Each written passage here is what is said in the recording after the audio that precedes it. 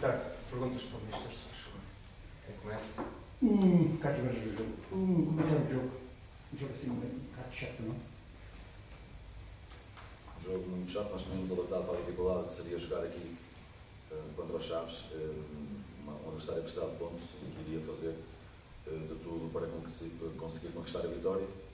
acho que entramos bem na primeira parte, sofremos o primeiro gol na sequência de uma infelicidade, igualamos e acho que fomos para, para, para o intervalo até ligeiramente por cima. Uma entrada boa na segunda parte, da nossa parte, que depois acaba por se diluir com a expulsão, estranhamente. Acho que deveríamos ter tido a capacidade de gerir melhor o jogo uh, em superioridade numérica. A verdade é que não foi isso que aconteceu e quando há relaxamento, o desfecho é este.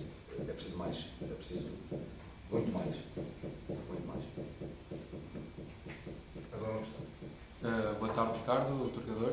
Um, ehm, com o resultado empatado, com mais um elemento após a expulsão de Carraça, uh, encontrava-se por cima do jogo. Uh, considera o gol de Héctor cruel para, para os fechos do encontro? Vai em contra daquilo que, que, eu disse.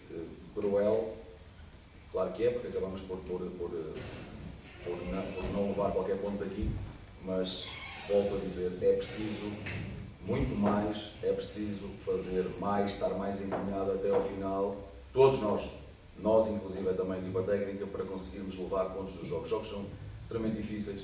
Uh, sabíamos que a dificuldade era grande hoje aqui contra, contra os Chaves, acabamos por relaxar ali um, em determinado momento e pagamos a fatura.